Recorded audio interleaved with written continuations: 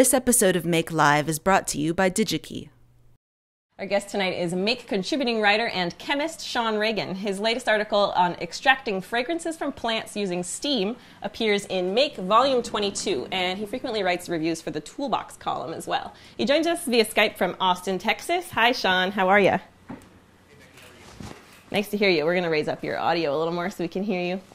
And um, so, okay. you're a chemist. Are you classically trained? What's your background in science? Uh, I have uh, an undergraduate degree in chemistry, and I have a master's degree in organic chemistry at the University of Texas. Oops. I hear that that's the hard kind. Oh, look, we already have our first cat appearance on yeah. the show. That's great. What's your cat's name? Mooney. Mooney. So cute. Mm-hmm. Cool. Well, so we're so glad to have you here today. We want to talk about your laser microscope project, but first, I was wondering if you could help us get started on our chemistry demo, which uh, takes a little bit of time to accumulate our flammable gases. Mm-hmm. Um, it's from our, our book, The Illustrated Guide to Home Chemistry Experiments by uh, Robert Bruce Thompson. And um, we're going to split water into hydrogen and oxygen. So the first thing you'll need is um, a beaker with a 9 volt battery.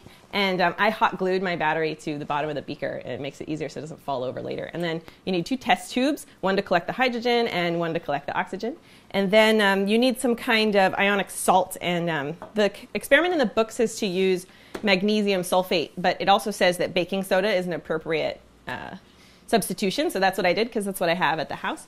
And um, what I'm going to do is I'm going to set up the, I'm going to fill this, the beaker with the solution, put the test tubes one over each terminal of the battery, and it's going to collect the gases. Now, what's happening is that the electrons uh, and the electricity stored in the battery are giving off and taking away electrons from the water solution, the ions in the water solution, allowing them to exist stably on their own. Um, and then they're going to collect in here, and then we'll be able to tell the difference between them later by setting them on fire. So I have this big bucket of uh, baking soda water, basically, uh, that I prepared in advance, and then I'm just going to dunk these in. This is the easiest way for me to show this to you, and then stand it upright and bring it over to the pie pan, and then you can see if we zoom in now, you'll be able to see um, the bubbles forming of hydrogen and oxygen off of each thing. So the, the negative end, the cathode of the battery, is going to uh, provide, it's going to take away electrons uh, from the hydrogen ions. Correct me if I'm wrong here, Sean, at any.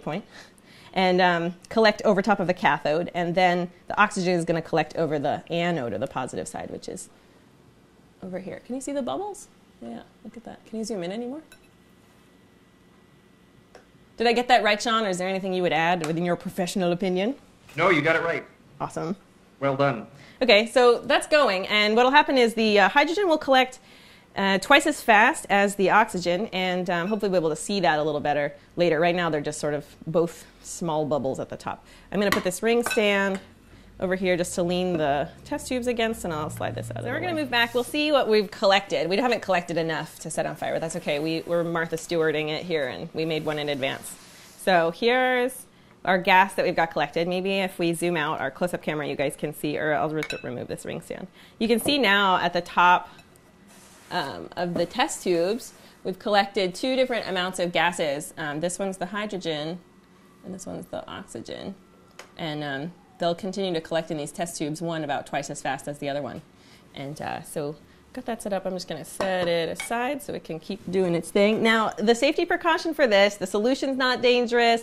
9 volt battery, I mean, if you stick your hand in there, it's like getting shocked like sticking a 9 volt battery in your tongue. It's not really that dangerous. And then um, the dangerous thing I did notice when I was looking through other people who were doing this project is that, um, sure, hydrogen's flammable, but it's uh, it's not mixed with any fuel gas. And when it mixes with air to combust when I light it on fire, it's uh, just going to be combining with the oxygen in the air as it reacts. Um, if I were to collect both gases in one test tube, there'd be oxygen and hydrogen together. The, the oxygen's providing the fuel for the hydrogen to burn, and I could have an explosion on my hands. So I'm not going to collect both gases in one test tube, uh, one each. Does that sound like an appropriate safety warning, Sean? Uh, yeah, I think it's a really safe experiment that you're doing, but you know, err on the side of caution. Really safe. So this is the one I made earlier. Get in the close-up. I think we'll probably want to do the close-up for the actual ignition. So these I, I, saved earlier and I marked them positive and negative. So I expect, I expect the positive one to be the oxygen and the negative one to be the hydrogen. Now, um, I should be able to tell the difference by the way they burn. Hydrogen shouldn't make a light, it should just make a noise, a loud pop when it ignites, and the oxygen should burn brightly. Does sound about right, Sean? Well, in point of fact, the oxygen's not burning. It's causing the. I mean, whatever. It, you're, I'm assuming you're using a match there. Uh, Mhm. It's causing you know the the wood in the match to burn much more vigorously in the presence of oxygen. So Ah. Basically right, except to say that oxygen is burning is technically incorrect. Right. Okay. Good. Glad we have an expert on board to help us out, make sure we get it right. Okay. So the hydrogen then is going to be the real fun deal. So are you guys ready? I don't know if you're ready. Tell me if you're ready in the chat. You ready to see some things light up? Up, I think they're ready. Yeah. Okay. Here we go.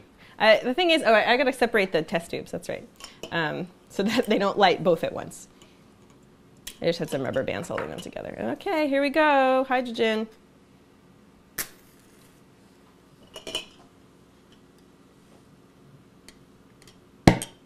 Whew, we got it, huh? Big pop for hydrogen. Okay, that was exciting. All right, one more. Oops, I broke my match.